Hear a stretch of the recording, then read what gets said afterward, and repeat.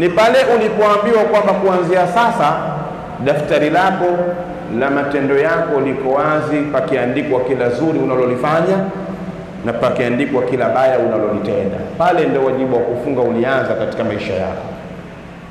Maalasafi shadid, hutokea baadhi ya watu hususan kina mama, kutokana na maumbile yao yanavyowataka Ramadhani, wao si wengi hukamilisha masiku thalathini kutokana na ada zao za mwezi. Mwingine akaachia siku tatu, siku tano, siku saba, mwingine mmoja, kila mmoja kutokana na mzunguko wake. Lakini na sisi pia huku hutokea wakati mwingine tukakutana na dharuratu shar'i, safari, kwamba unasafiri wewe na sheria inakwambia ukiwa unasafiri basi unaruhusiwa kutokufunga, ama unaumwa, sheria inakwambia ukiwa unaumwa unaruhusiwa kutokufunga mpaka pale afya yako itakavyokaa sawa, ama una dharura zile za msingi za kisheria ambazo zimepelekea usifunge Ramadhani miongoni mwa Ramadhani zilizopita.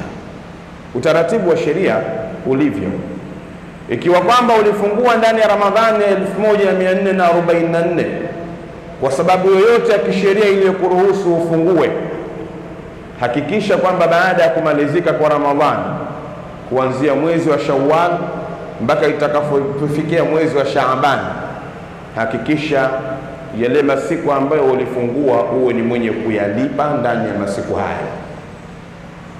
Kama ulifungua siku tatu, basi hakikisha toka ilipoingia Shawwal mpaka inakuja mwezi wa Shaaban, hapa katikati itakavyokuwa, hata kama leo utafunga moja, kesho utakaa bila ya kufunga, ama kila mwezi ukafunga moja moja kwa nia ya kulipa zile siku ambazo unadaiwa katika Ramadhani iliyopita.